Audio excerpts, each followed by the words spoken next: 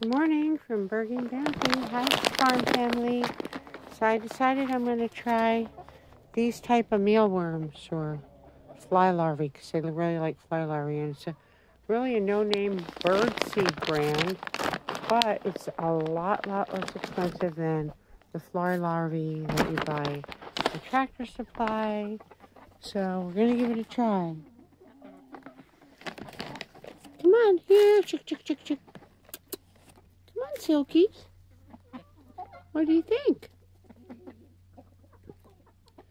Doesn't look very black. It, definitely more of a beige appearance, but as you can see, it's a lot thicker and wider than mealworms.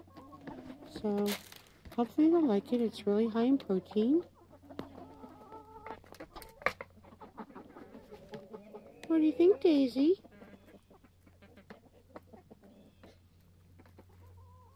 They don't seem to care that it's the less expensive variety.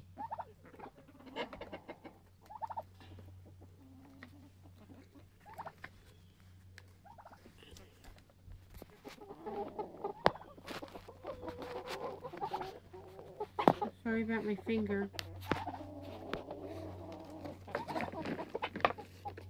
Yeah, chick, chick, chick.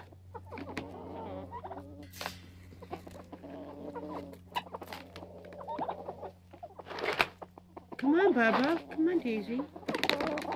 I just want to check the ingredients. And the only ingredient in here is dry black fly larva.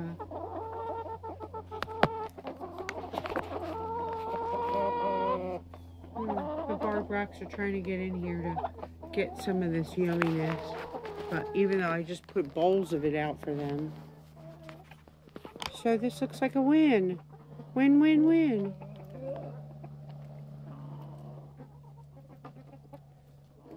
Saves money.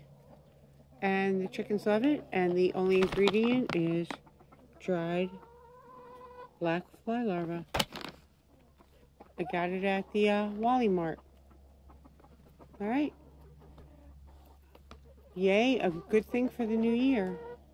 I hope you all have a blessed day.